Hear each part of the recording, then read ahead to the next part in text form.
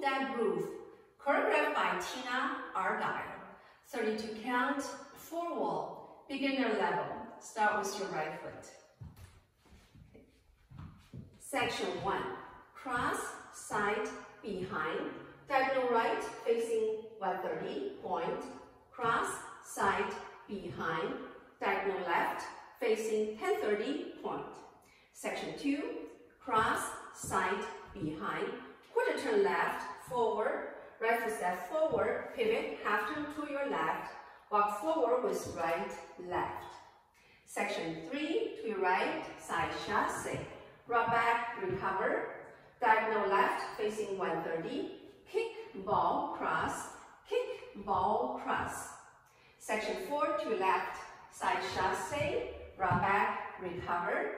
Syncopated, jazz box, cross. Back side, cross, point. Okay. Now let me show you the count. One, two, three, four, five, six, seven, eight. One, two, three, four, five, six, seven, eight. One and two, three, four, five and six, seven and eight. One and two, three, four, five, six and seven,